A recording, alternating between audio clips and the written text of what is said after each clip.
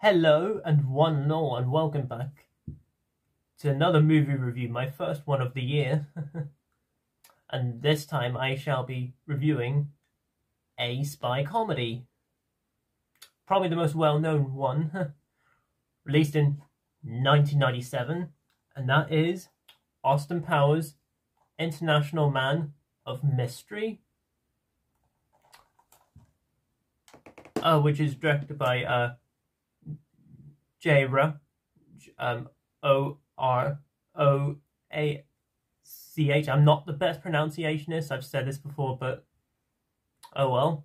Um, and you of course have Mike Myers, not Michael Myers. Thank you.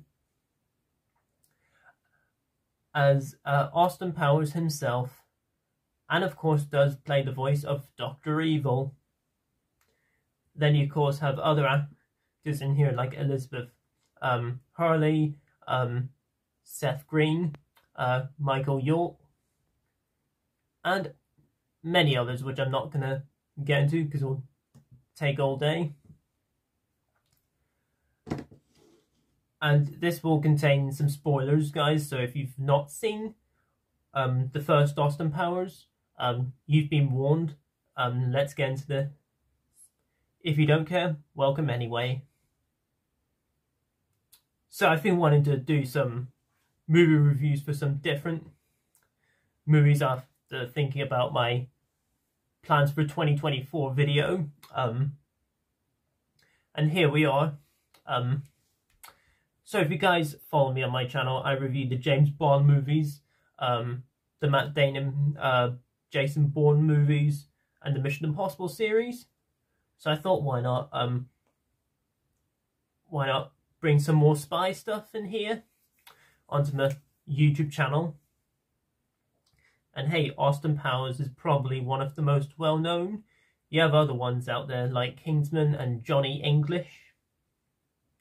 But I think Austin Powers is the one I think I should start off with. Particularly just the first film anyway. And I have an absolute ball with Austin Powers, um, International Man of Mystery. This is either this or the second is the best one, I think. Um, I only just own the first one. But I particularly love the opening scene where um, you see, you know, um, Austin Powers in this sort of parade wearing his blue outfit. Do do do do do do. You know, it's just pure greatness. And then you of course have Doctor Evil, who is the um, spoof on Ernst Stavro Blofeld, um, who is really good in here. One million dollars. You know, it's just so great to see him. He's probably my favourite character in the movie, I think. Then you, of course, have um, Joe Son, who plays Oddjob. Yeah, literally just called Oddjob. Basically, Oddjob from the Bond films, just Goldfinger.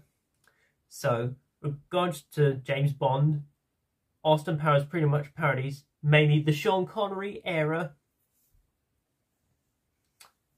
And looking at Bond films, this came out in the same year as um, Tomorrow Never Dies.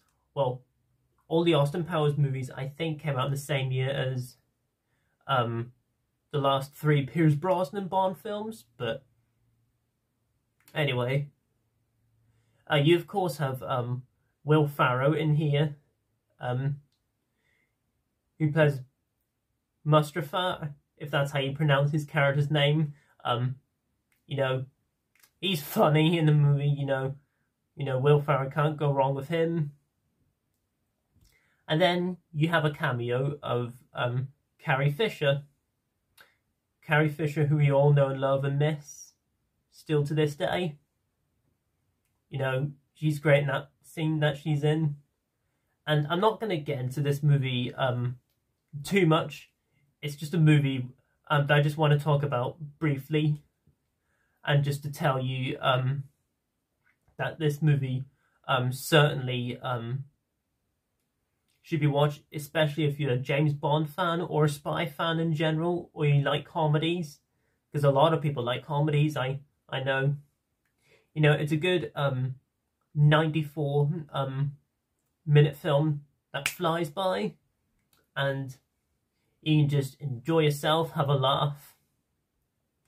You know, you've got uh, some good characters here and there. And yeah, there you go. That was my review on Austin Powers International Man of Mystery. Comment down below, let me know what you guys think of this movie. Let me know below in the comments. Let's have a great discussion down there. Um, as always, if you're new to my channel, please feel free to comment, like, subscribe, share this video, and notify that bell before you leave. And as always, until my next video, I shall see you then, and peace. Groovy, baby.